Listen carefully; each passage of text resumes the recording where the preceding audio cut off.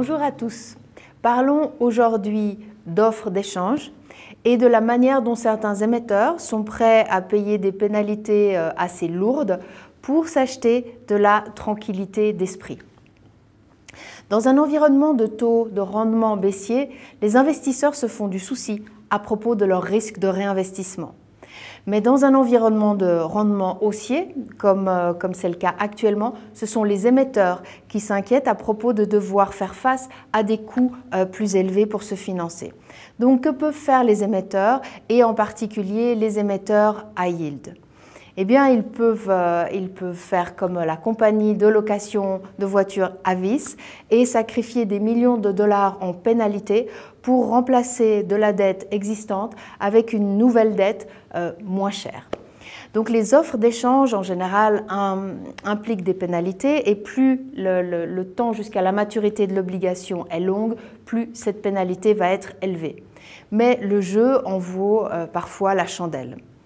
Donc si nous revenons euh, à l'exemple euh, de Avis, la compagnie a émis une obligation 600 millions de dollars dans une obligation arrivant à maturité en 2029 avec un coupon de 5 3 8 Avis a utilisé 500 millions de dollars de cette nouvelle obligation pour rembourser euh, un prêt, un prêt d'une maturité de 5 ans qui portait un coupon de 10,5%, donc soit le double, et qui a été émise en mai 2020.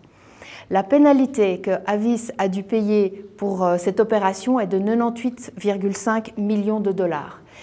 En ayant attendu un an de plus, la pénalité serait tombée à 39,4 millions de dollars.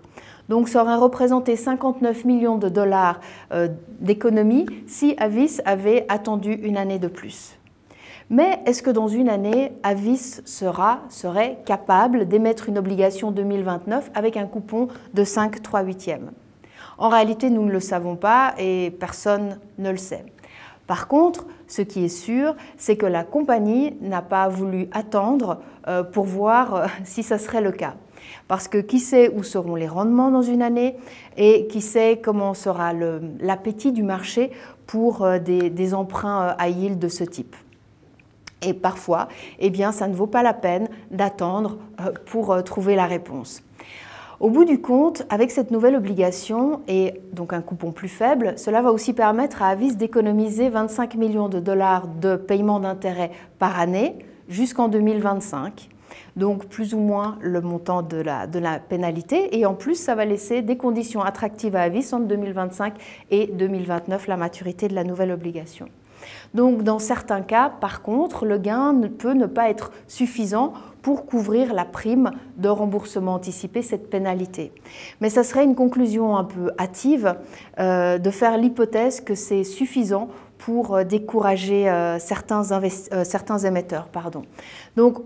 Selon le, degré de préoccupation par rapport à la remontée des rendements, un émetteur peut préférer d'émettre une dette plus longue aujourd'hui, même si cela veut dire payer une prime substantielle.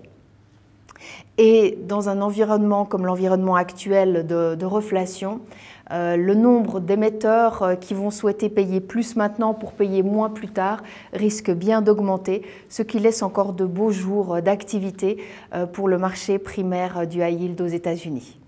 Merci.